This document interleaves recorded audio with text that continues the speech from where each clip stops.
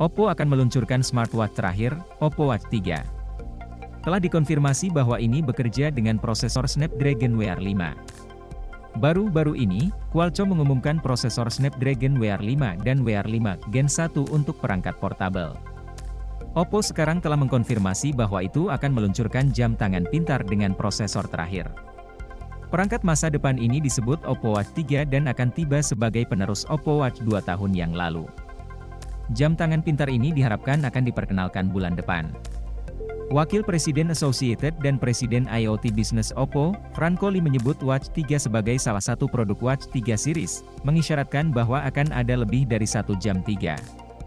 Terlepas dari ini, tidak ada informasi tambahan tentang Watch 3 series, tetapi menunggu Oppo mulai mengeluarkan uang muka dalam beberapa minggu mendatang.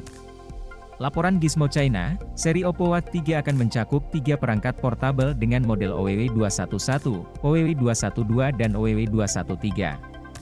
Perangkat ini akan menampilkan teknologi layar, tubuh dan eSIM yang tinggi dari chip EWIC independen.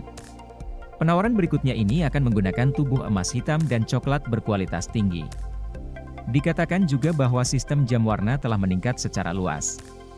Selain itu, bersama dengan Oppo, Mobvoi juga telah mengkonfirmasi bahwa mereka akan meluncurkan generasi berikutnya dari TicWatch dengan SoC Snapdragon 5 Gen 1. Qualcomm Snapdragon WR5 dan WR5 Gen 1 dibangun dalam basis proses 4nm. Dikatakan bahwa prosesor ini menawarkan kinerja dua kali sehari dengan hanya menggunakan setengah kekuatan pendahulunya. Juga diharapkan bahwa chipset terakhir ini dapat membawa masa pakai baterai yang lama.